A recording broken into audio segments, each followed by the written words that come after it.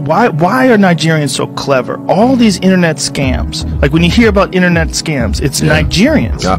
Right? Nigerians come to America. They're one of the most successful groups of immigrants in uh, all you all the fucking countries. 100 Yeah. plus whatever countries.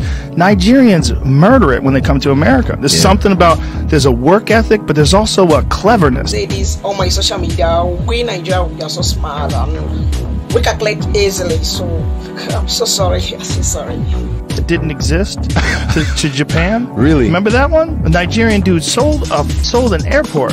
Fuck, the Japanese are You got smart too, story? man. That's the thing. We, yeah, we, we we talked about it like a couple of weeks ago. Yeah. It's bonkers. Yeah. Like they they spent a fuckload of money. It was like in the 80s or something. To be honest with you, the Bible made it clear to me because they say the, the idle mind is in the workshop. Like most of the youth being idle because the government, I normally put 80% blame to the government. When the government is to provide them job, provide them what they need, like for them being frustrated. So many of them now turn into frust, like because they're so smart. Bring up a lie that can change something. To see they have the mentality to create something good, so they're not using it in negatively. So I'm so sorry about that.